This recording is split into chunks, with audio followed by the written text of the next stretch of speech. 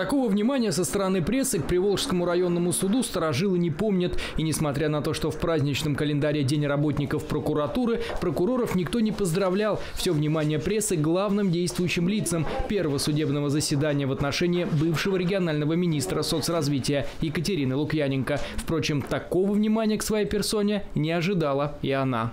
Встречать такую прессу в таком количестве. Фу, пугаете Приволжский район. В самом начале заседания один из адвокатов, их у Лукьяненко двое, обратился к суду с ходатайством о том, чтобы подсудимые разрешили пересесть ближе к защитникам.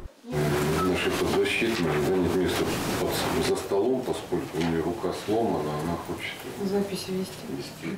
Ходатайство суд удовлетворил, и далее все заседание Екатерина Лукьяненко провела плечом к плечу с защитой и лицом к лицу с обвинителем. На оглашение материалов дела у прокурора ушло полчаса. Цифры, фамилии, по версии обвинения, оброк Лукьяненко получала с 2014 года от подведомственных министерств учреждений. Брала не лично, а через посредника. Такса для руководителя соцучреждения по версии следствия 20 тысяч рублей. Всего же более чем за год, утверждает прокурор, набежало более 2 миллионов рублей.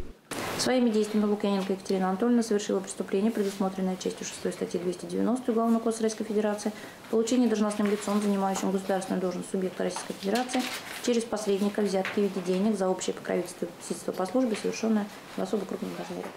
За получение взятки в особо крупном размере, будучи должностным лицом, российское законодательство предусматривает наказание в виде лишения свободы на срок от 8 до 15 лет со штрафом в размере 70-кратной суммы взятки. Но бывшее должностное лицо Лукьяненко с озвученным обвинением не согласилась.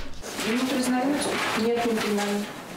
Желаете высказаться по предъявленному Но я хотела бы высказаться после того, как э, закончатся все обвинительные заключения. Адвокаты подсудимые вполне ожидаемо с версией прокуратуры не согласились. Предъявленное обвинение, на их взгляд, доказательств не имеет. Впрочем, это стандартный для большинства судебных процессов обмен репликами сторон. Далее настала очередь свидетелей стороны обвинения, но с очередью своей некоторые из них не согласились. Прокурору пришлось выходить из зала суда и почти за руку подводить свидетеля к трибуне.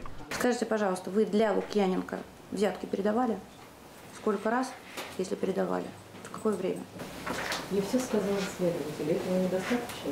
Я же там У подписала. нас непосредственно исследуются все доказательства. Вы обязаны отвечать на заданный вам вопрос. С обвинителем, потом защитником. Если возникнет необходимость и поступит соответствующее ходатайство, тогда будет решаться вопрос о приглашении. Сейчас отвечайте на поставленный вопрос. Задали вопрос, отвечайте.